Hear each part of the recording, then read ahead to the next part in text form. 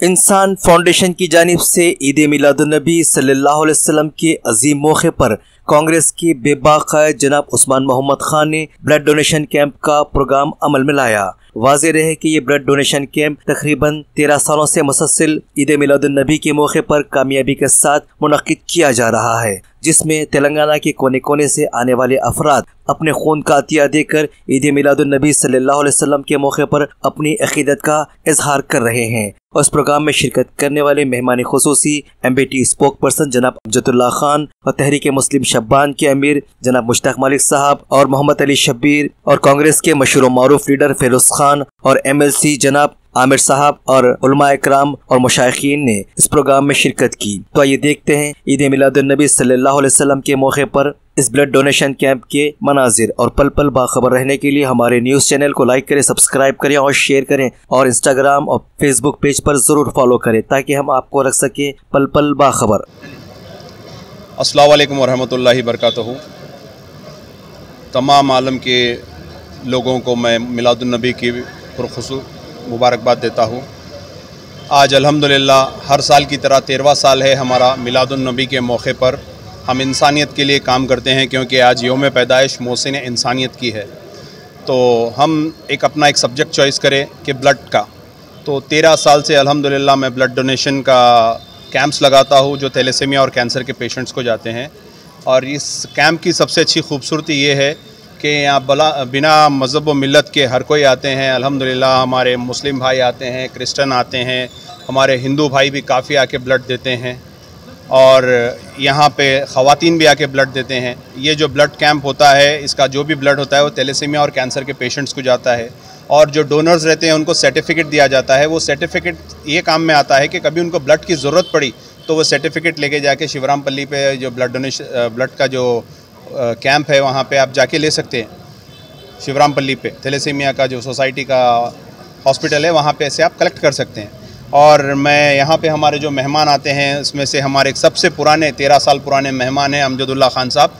जो मेरी हिम्मत अफसाई करते हैं और हर साल हर साल आते हैं। सिर्फ़ एक साल मैं समझता हूँ आप कहीं बाहर थे नहीं आए। और हमारे तारिक अंसारी साहब मिनॉरिटी कमीशन चेयरमैन और हमारे बड़े भाई आमिर अली ख़ान साहब जो एमएलसी है। आप भी हर वक्त आते हैं। लास्ट टाइम आप कहीं थे नहीं आए। तो मैं आप तमाम का दिल से शुक्रिया अदा करता हूँ। और हमारे आईपीएस हुदा साहब जो मेरे इस कैंप को अल्हम्दुलिल्लाह जब मैं अपना फ्लाइयर लेके निकलता था तो सबसे पहले मेरे फ्लाइयर को ग्रीन सिग्नल बताने वाले हुदा साहब थे। तो हुदा साहब बोलते थे, नहीं मियाँ, करो, अच्छी चीज़ है, मैं खुद अपना मैसेज देता हूँ। तो वॉइस मैसेज भी देते थे वीडियो मैसेज भी देते थे हुदा साहब। मैं दिल से शुक्रिया अदा करता हूँ आपका, आप तमाम यहाँ पे आए और इस कैंप को सक्सेस करें। अल्हम्दुलिल्लाह, काफ़ी डोनर्स आ रहे हैं और शाम तक आते रहेंगे। ये कैंप पाँच बजे तक का है। तो मैं तमाम लोगों का दिल से शुक्रिया अदा करता हूँ। शुक्रिया अल्लाम donation camp organise by Insaan foundation जिसके सरपरस्त हमारे उस्मान मोहम्मद खान साहब हैं। उस्मान खान साहब जो है ये तेरह साल पहले एक कॉन्सेप्ट दिए थे कि मिलाद ब्लड डोनेशन कैंप उसके बाद में कई लोग उनको फॉलो करें। आज शहर में हर गली गली में नबी करीम सल्लल्लाहु अलैहि वसल्लम की योम पैदाइश के वक्त ये, ये ब्लड डोनेशन बीमारों को जाके दवाखाने में पूछना।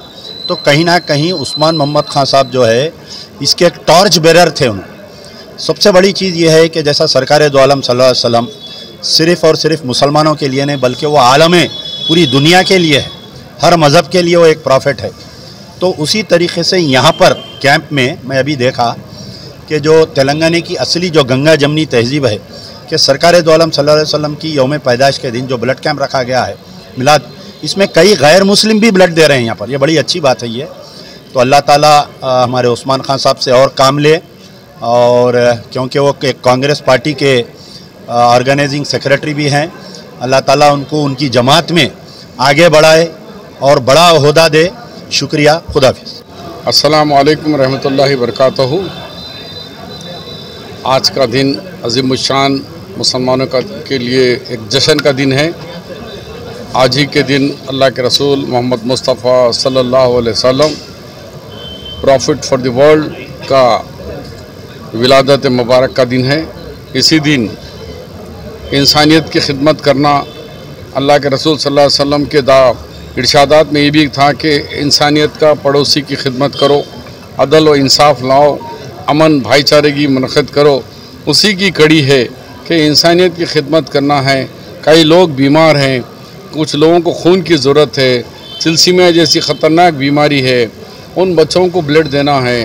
बालिहाज मज़हब व मिलत उसको देखते हुए हमारे कांग्रेस के कायद उस्मान मोहम्मद ख़ान और उनके दोस्त अहबाब उनकी सोसाइटी, मिलाद ब्लड डोनेशन कैंप के साथियों ने मिलकर 14 साल पहले ये शुरुआत की कि हम खून जमा कर, क्योंकि दौलत बहुत कुछ है, मगर खून दौलत से तैयार नहीं हो सकता।